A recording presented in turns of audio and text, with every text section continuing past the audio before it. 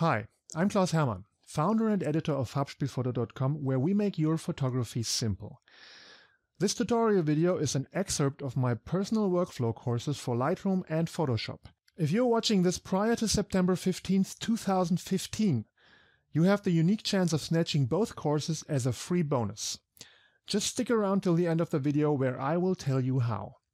And now, have fun with the tutorial. After I have corrected the basic exposure settings in Camera Raw, I'm going to look at the Details tab. And that's the tab where you can apply noise reduction and sharpening to your images.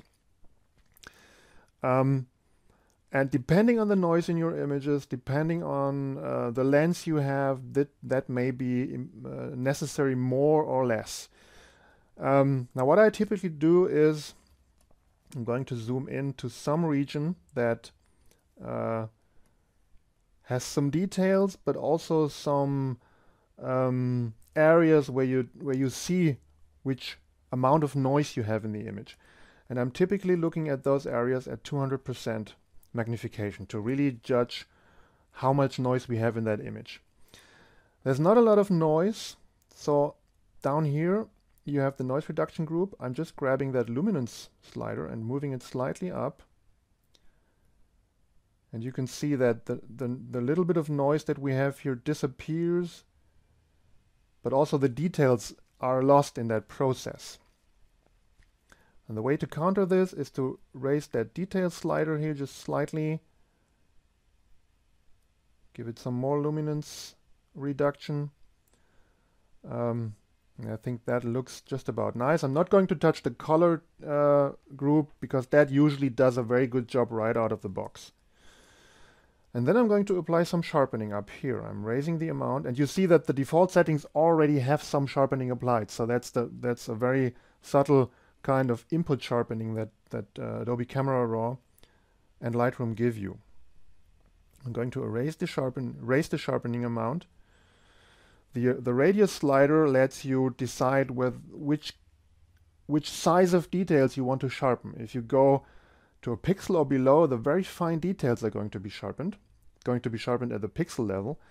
If you bring it up to a higher radius, like 3 pixels for example, you're going to see that those details here are sharpened more than the fine details in your images. And I think a radius of one, maybe a bit more. I'm looking at at, at those this type uh, that's been carved in this metal plate here.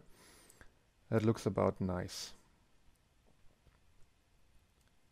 Okay, so I'm applying some noise reduction and some sharpening, and it's important to note that those two things should always go together. So noise reduction and sharpening are two ways of fighting noise and at the same time getting some of the details back that you lose by doing that.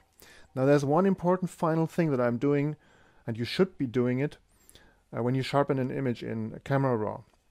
And this that is the masking slider, because usually what you want to sharpen are the edges in your image. And uh, the default setting just sharpens everything.